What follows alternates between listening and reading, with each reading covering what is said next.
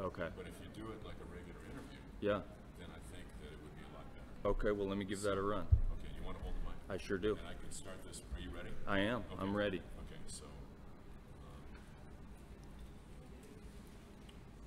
Okay, go ahead. Ready to go. Okay, so uh, I am here with Ken Korach, who is the baseball play-by-play announcer for the Oakland Athletics. And first off, I want to say thank you very much, Ken, for having me and spending some time with me.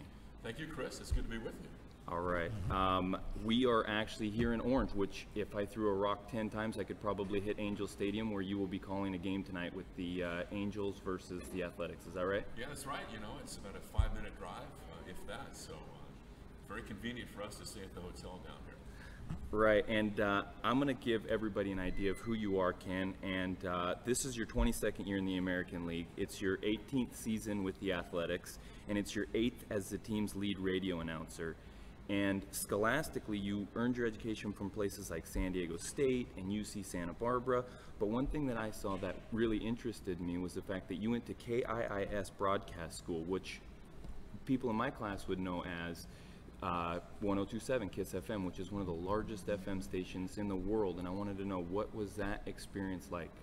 I didn't really go there for more than a couple of weeks, to be Right. honest with you. So I just took one class there. Yeah. I actually never completed the program, so I probably I can't really give you a great answer, honestly. um, Uh, yeah. It wasn't something that I really was attracted to when I was there. Right. Um, not to, to um, I guess, knock the place or belittle it. Um, it was just what they were teaching was not something that I really wanted to get into. It was primarily um, a program designed for disc jockeys. Right.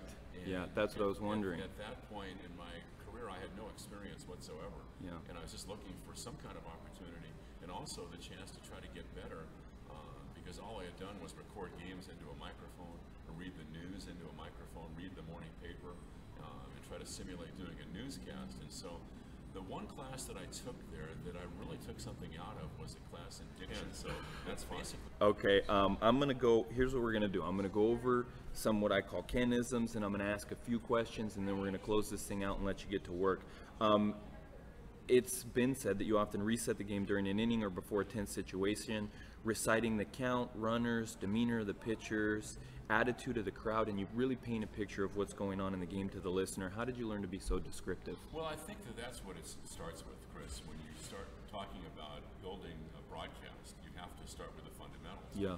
And so, especially on radio, um, we're the eyes and ears of the audience. And so, I would think, said this many times, that this is a very subjective business as far as how we evaluate announcers. But one thing you can always do is try to paint the picture. And so, when someone is listening to a game, I think they have to know the score. Yeah. Uh, they have to know if it's a right-handed hitter or a left-handed hitter. Is the center fielder shaded toward left center or right center? What's the count?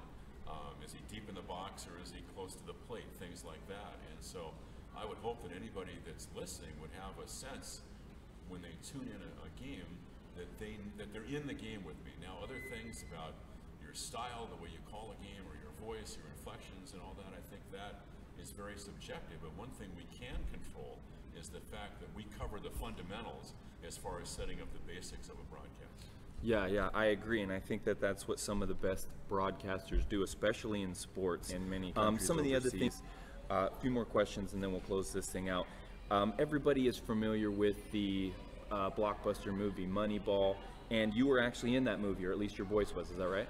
Yeah, I actually um, acted in a scene in the movie, and to show you my ability as an actor, that Right. scene is somewhere in Hollywood on somebody's cutting room floor. Uh-huh. It actually never made it into the movie, although I am getting residual checks. Oh, good. Uh, every couple of months or Good so, for uh, there's a check that comes in from Sony Pictures. Yeah. And that doesn't hurt.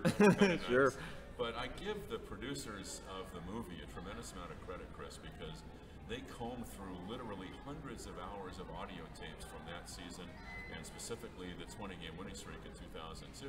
Yeah. And they could have easily just used voiceovers or had Hollywood actors or other play-by-play people maybe simulate those play-by-play calls without being so diligent and to go through like the tedious process of going through all of the audio tapes from our games from that year, not only radio but also television. And so that was a big thrill to hear my voice and the voice of Bill keep King. with these keep up with these bigger teams with higher payrolls. And one of the questions I had out of that is how do you feel about the monstrous payrolls of some of these not just the Yankees anymore but we see the Dodgers with you know a, a billion dollars and all these investors and the Angels who you're about to play have three or four of some of the biggest hitters and, and pitchers in baseball and a tremendous payroll backing that do you think that that takes away from the purity of the sport at all or how do you feel about that A's are in first place. yeah right that's true isn't it So I don't get caught up in the Yeah. aspect of it. it's a team I sport really isn't it Yeah, and the A's have been in the postseason six times in the last 13 That's years. right. Yeah, So, since 2000. Uh, would Billy Beane like to have more money to play with? Obviously. Would Yeah. he like to be a higher revenue club? And that's part of one of the reasons why the A's want to get a new stadium. yeah But the reality is that I don't think that having a lot of money guarantees success, and thank goodness for that. Yeah. Because I, I still think you have teams that have a lot of money that it's almost as if that, that the money gives them the license to make bad decisions. Right. Now, the A's have a much smaller margin for error. Um, Yeah. They have to be much more careful with their investments, but um, it's worked out. I agree. I agree 100%. Um, one last question, and then I'm going to do a little closeout. Who do you think is the uh, greatest athletic of all time? Um, I feel as- that anybody would probably say Reggie Jackson, but they have such great players. You know, Rickey Henderson, Jose Canseco, Mark McGwire, Fosse Campy, so many over the years.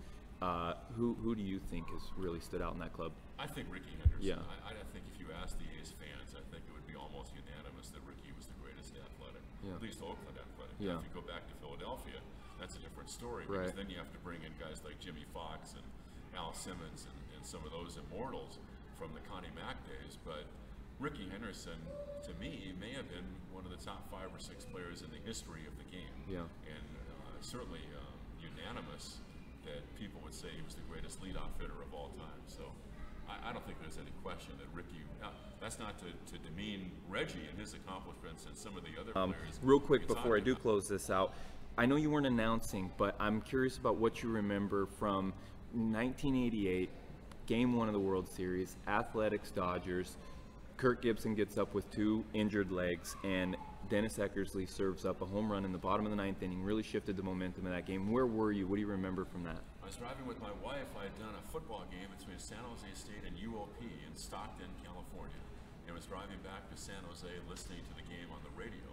Um, and those memories are indelible. And I think um, I talk about this in, or write about it in the Bill King book because people remember Vin Scully's call, which was phenomenal. Yeah. Um, in the year of the improbable, the impossible has happened. And then Jack Buck on CBS Radio. Yeah. You know, I can't believe what I just saw. Mm-hmm. Joe Buck's dad. Yeah. Um, see, for you, he's Joe Buck's dad. Right. You know, for Yes. me, he's Jack Buck. right. But uh, Bill King made a great call there, and, and nobody ever hears it. And so we did transcribe that call of Bill's in the book. Yeah. Um, of the Year. Uh, you were inducted into the Nevada Broadcasters Hall of Fame in 2003. Um, in 2000, your 2005 season, your radio team, including yourself and Bill King and, and Ray Fosse, were ranked second best in the American League by USA Today. Uh, your national work includes broadcasting major league games for ESPN Radio and several bowl games, including the Peach Bowl, the Vegas Bowl, Senior Bowls.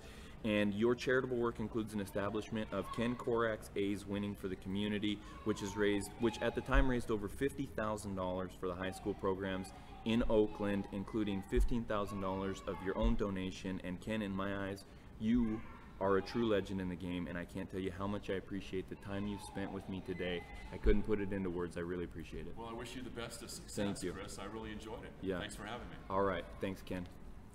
Right, we're good? Yes. Okay. Good. It was about 21 minutes. Okay. So 21 minutes in. Oh, boy, that thing could have went. seconds. Yeah. So All that's right. fine. Is that okay? Oh, that's more than okay. And if this thing kept If up, then I've got it. Got. Yeah, too. yeah. So I'll send this in a file. Yeah. Thank you. I'll- Yeah, MP3 format, whatever. Whatever, I don't know anything Yeah. about that. Okay. I'll just send it in a file, however it is. Okay. So I assume that's what it is. I mean, Yeah. you can download it off your computer. Sure. Yeah. You. Yeah. It'll be easy. Yeah. That was fun.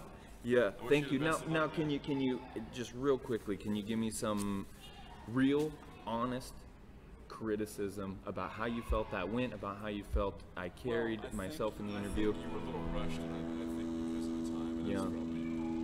Probably, you